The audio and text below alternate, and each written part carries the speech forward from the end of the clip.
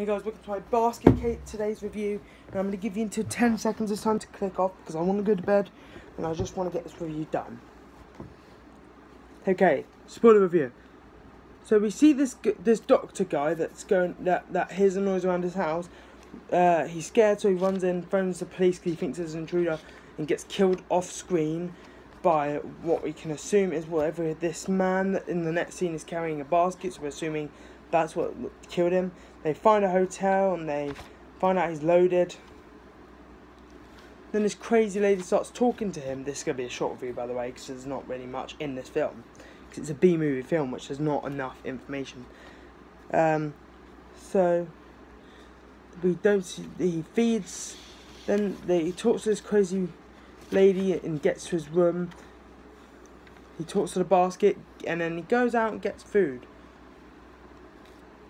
We still don't know what's in the basket, but we know it's whatever it is is rapid. Looks at Doctor's file that he obviously from the dead Doctor, and he found he has to kill the next Doctor in order to get the information he wants.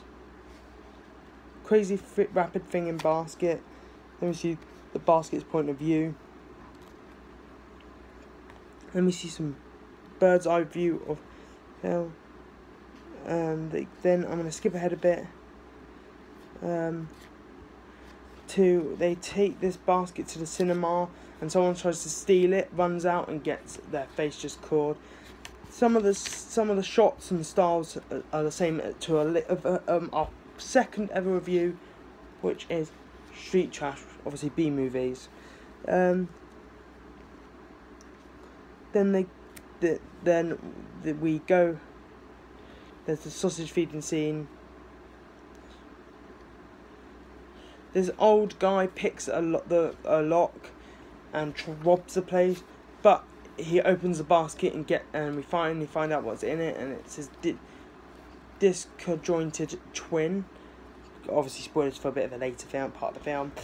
Um, nice makeup effects and noise throughout where he goes, oh, ah, just the blood pouring all down his face. Looks so good. Um,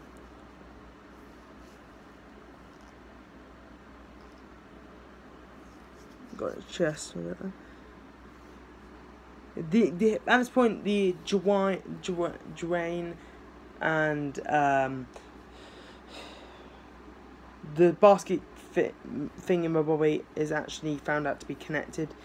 And I'm gonna skip it ahead because nothing happens but you get a flashback to how they were disconjointed and also mm, my knuckles a bit fractured but who cares? Falls out then they have a fight at the end and the fight ends up to him being shoved out. They're both being shoved out of window, the window. Dwayne, Dwayne being shoved out the window as he holds on Basket tries to knock him down, but they both slip and fall, and the film ends with both of them dying, and the credits roll out to play.